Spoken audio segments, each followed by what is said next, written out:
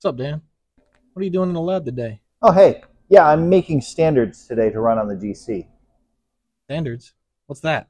Yeah, I can show you what they are.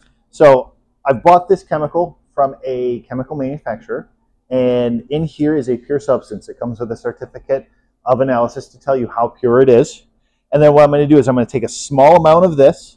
I'm going to put it into my small volumetric flask here. So I'm going to take about 100 milligrams. I'm going to put it in 10 milliliters to make a 10 uh, milligram per milliliter standard. Uh, that's going to be my stock standard. That's going to be good for about a week or so. And then I'm going to take a small amount of this. I'm going to put it into another one and that is going to be my uh, one milligram per milliliter. Uh, that's going to be my working standard. This is good for about a day. Then I'm going to dilute from here, so from each from here into each one of these, uh, and I'm going to produce what's my called a standard curve. So I'm going to go from uh, point uh, two all the way up to point four, and then I have a quality control check, which I'm going to probably do around a point uh, I'm going to say 0.3, uh, just to make sure that my standards that I've created are reading properly.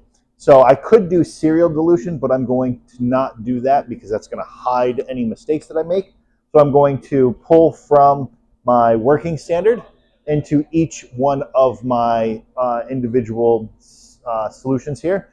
Then I'm going to put them onto the GC and run them and see what we get.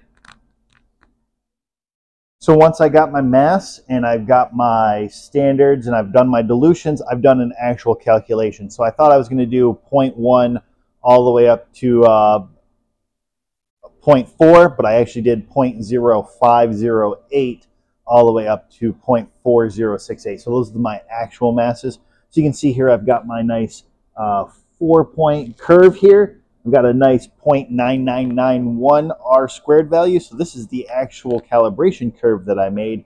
Uh, looking very good. My next step is to uh, prep my sample and run my sample onto this calibration curve to see how much of my uh, analyte of interest is in my uh, sample.